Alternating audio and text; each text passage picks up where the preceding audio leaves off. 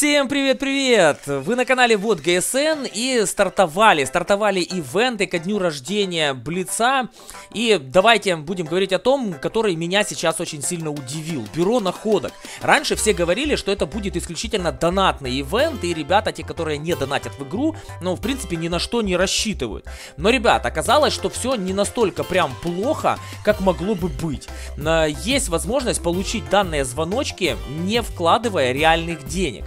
А, это первая новость, которая меня обрадовала. Вот появились наборы в бюро находок а, в магазине за голду. И вот, допустим, покупая себе Чифтейна за вполне адекватный ценник в 15 тысяч золота, вы получаете 86 звоночков. Если купите себе Тайпа или Типа 57 за 8 косарей, тоже, кстати, вполне адекватный ценник на восьмерку, то получите 46 звоночков. Что в итоге получается? В итоге получается, что звонок звоночки можно взять себе за голдишку, которую вы фармили, а не за реальные деньги. При этом прикупить себе какую-то из машинок. Главное, чтобы вам хватило, допустим, на отсутствующую у вас юшку какую-нибудь.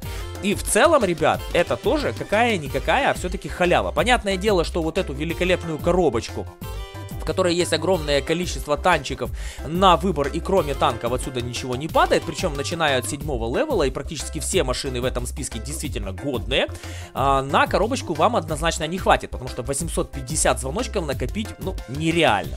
А вот что касается чего-нибудь подешевле, и даже вместо юшки вы можете взять себе Черчилля, допустим, если вам нравится британский стиль игры. Короче говоря, ребят, эта новость, по-моему, довольно неплохая. Плюс к тому, что меня удивило, что на стримах Анна Торти Фантастик, э, и, по-моему, там был Артем Нонейм, э, говорили по поводу того, что это будет донатный ивент, и помимо того показывали скрины, на которых юшки отсутствовали. Были только вот эти три машинки, а именно Черчилль, Кунзепанзер и P4306, и была там всякая рода дребеденька. Здесь же, ребят, немножечко все переигралось и добавили все-таки коллекцию юшек.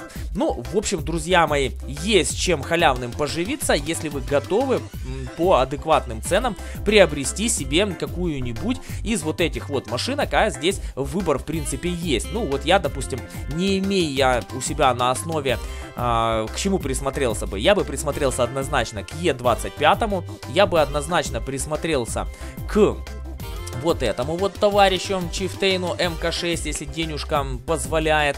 Ну и я бы себе рассмотрел для, для удовольствия от игры я бы посмотрел себе на AMX. Но все-таки машинка немножко устаревшая. Хотя у меня на основе данные машины есть.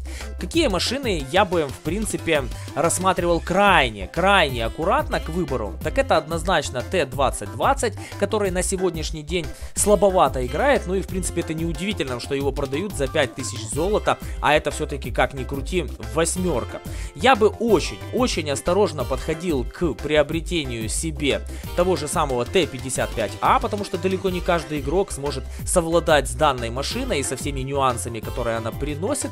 Ну и плюс к тому, ребят, если уже брать что-нибудь дешевенькое, то я бы, наверное, брал себе, ну не знаю, того же самого Тайпа 62 Машинка довольно прикольная для своего седьмого уровня. Вот так вот, ребята, получается, что порой халява выскакивает там, откуда ее не ждали. Ну а вы, ребят, забегайте обязательно ко мне на канал. Ну а для того, чтобы не пропускать видео на этом канале, обязательно на него подписывайтесь по желтому шильдику в правом нижнем углу. Я стараюсь ради вас и желаю вам мира, друзья мои, и обязательно спокойствия. Пока-пока.